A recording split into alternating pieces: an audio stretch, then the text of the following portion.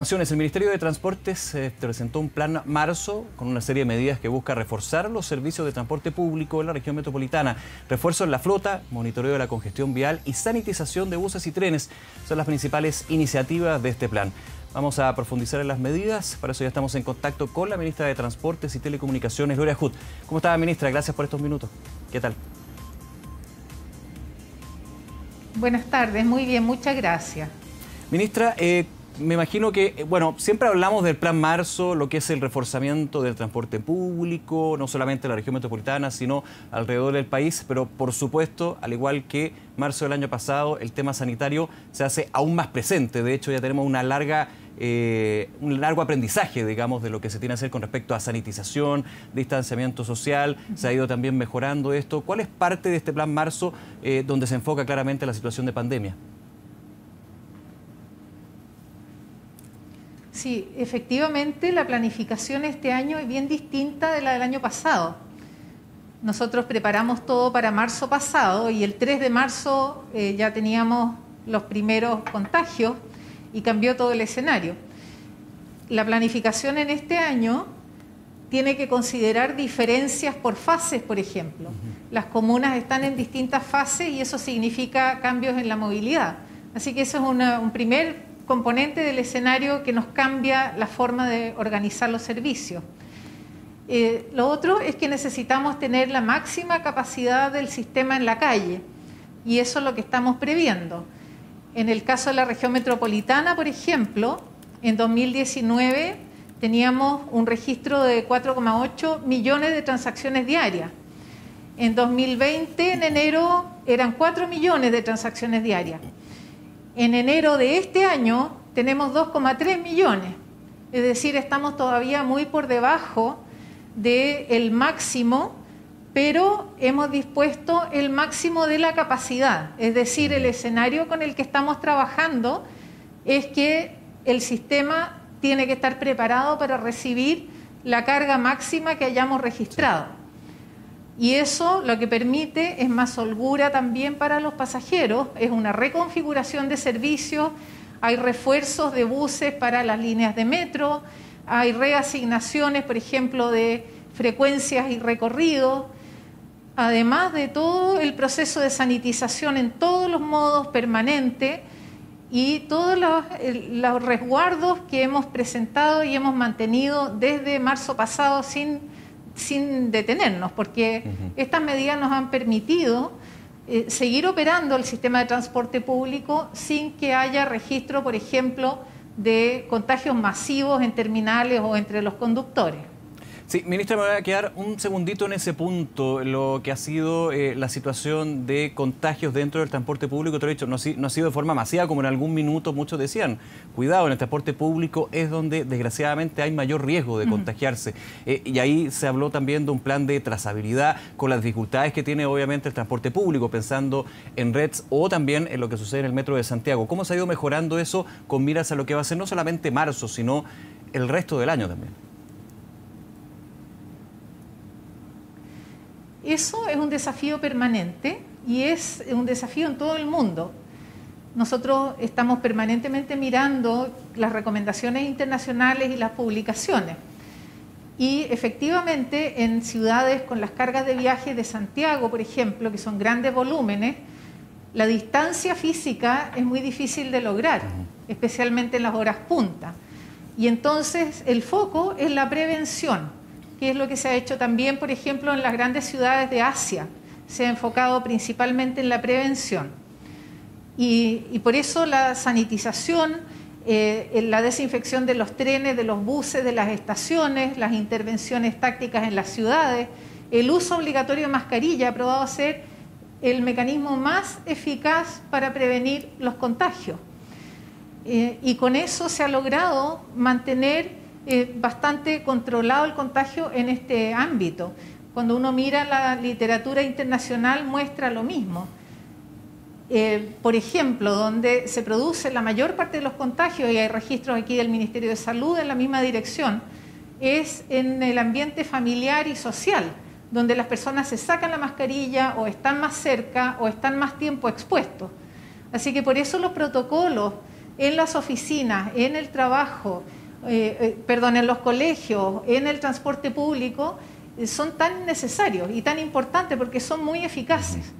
Así que vamos a seguir nosotros con esa campaña de prevención. El uso correcto de mascarilla es clave, obligatorio y correcto. Y en eso nuestro país fue bien pionero. Cuando uno mira los casos de Europa o de Estados Unidos, hicieron obligatorio el uso de la mascarilla bastante más tarde. Nosotros partimos muy temprano con esa medida y creo que eso ha ayudado también a que el sistema de transporte público eh, haya podido seguir funcionando en los volúmenes que estamos viendo.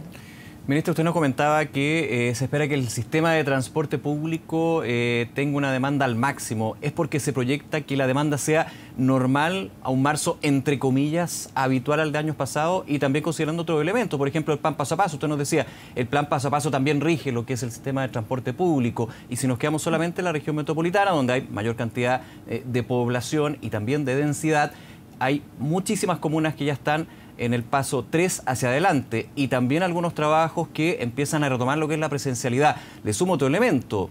El primero de marzo parten las clases presenciales, gradual y voluntario, pero de todas maneras ya hay establecimientos que van a volver a las clases presenciales. Estamos hablando de una demanda que se espera normal con respecto a marzos anteriores, dentro de la normalidad, digamos, de lo que vivimos en estos tiempos.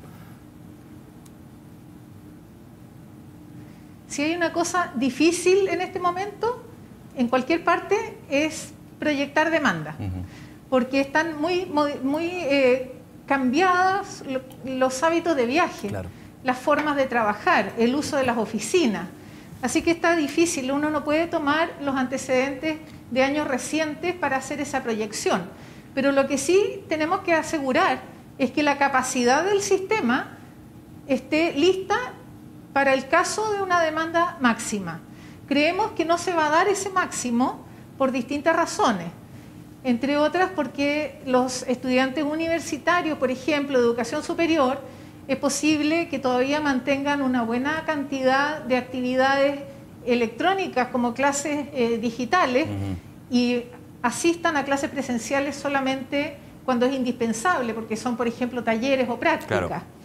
Por otro lado, en las oficinas hay aforo y es bastante frecuente encontrar que hay personas que van dos días en la semana, se quedan tres días en su casa, van rotando el personal. Es muy difícil encontrar una oficina en este momento en que esté el 100% del personal trabajando el 100% del tiempo. Eh, eso eh, no va a ocurrir todavía. Y a pesar de que empiezan las clases, también es un proceso gradual, voluntario, los padres van a decidir cuándo y cómo mandan a sus hijos a los colegios. Así es que eso yo creo que nos da un espacio para ir adaptando el sistema en la medida que veamos cómo reacciona. Aquí hay unos cambios bien importantes. Uno en transporte en general mira mucho la forma, el, perfil horario de los viajes y trata de gestionar en horas dentro del día.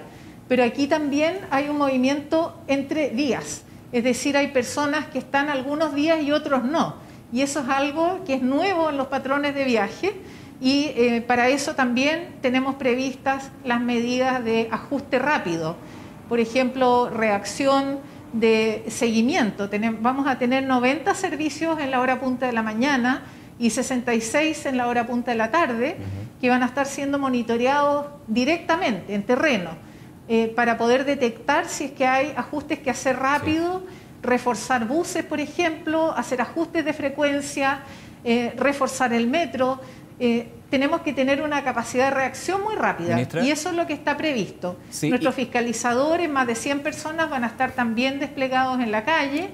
Hemos implementado casi 100 kilómetros de pistas solo bus adicionales a las 300 que ya existen para darle más velocidad a los buses con eso el tiempo de exposición de las personas es menor, mejora también la eficiencia, alcanza la flota para más viajes. Así que hay una serie de medidas que en conjunto son las que producen la oferta que necesitamos en este momento. Aquí no hay ninguna medida que por sí sola garantice la seguridad. Eh, la literatura lo que nos indica es que es una combinación entre ventilación, uso de mascarilla, sanitización, ordenamiento de los horarios, es el conjunto el que finalmente va produciendo eh, la forma de viajar que es más segura para las personas. Y esa es la forma en que nosotros estamos enfocando esto. Para terminar, ministra, respecto a esa reacción rápida y que depende de tantas variables. En todo Chile, eh, porque también eh, en, regiones hay ajustes. De todas maneras, claro, esto es a nivel nacional, no solamente la región metropolitana. Pero como última pregunta quería, quería hacer el, el siguiente punto. Si antiguamente el plan marzo, como se denomina, apuntaba entre varios puntos, digamos, a reforzar las horas peak del transporte público. Aquí también se va a reforzar las horas, entre comillas, valle, pensando en esta flexibilidad que tiene que tener el sistema ante la dificultad de poder proyectar la demanda. Eh, vamos a enfatizar en las horas punta porque son las más cargadas y donde tenemos que tener más cuidado con la seguridad de las personas pero dadas estas incertidumbres en que hay, eh, hay, por ejemplo, rubros donde las personas están trabajando en distintos turnos o han ajustado sus concurrencias físicas a los lugares, eh, también estamos preparados para hacer ese seguimiento en fuera de punta, aunque creemos que en, en estos horas valle o fuera de punta hay más holgura y más posibilidad de hacer ajustes sin el impacto crítico que puede tener hacer esos mismos ajustes en las horas punta. Así que seguimos con el foco en las horas punta de todas maneras. Ministra Laura Hut, gracias nuevamente por acompañarnos en Noticias 24 y que esté muy bien. Muchas gracias. Hasta luego. Vamos a hacer una